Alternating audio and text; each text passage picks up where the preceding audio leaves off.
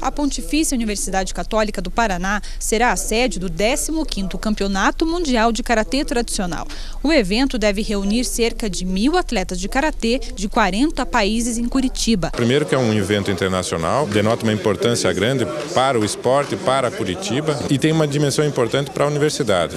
A PUC Paraná participou ao lado da Prefeitura Municipal de Curitiba e da Confederação Brasileira de Karatê Tradicional no desenvolvimento do projeto de defesa da cidade para o Mundial. A parceria não só deu certo, como promete ser um grande encontro das artes marciais em 2010. Eu acho que a partir desse evento, desse Mundial de Karatê, acredito que outras modalidades também poderão pleitear, se organizar.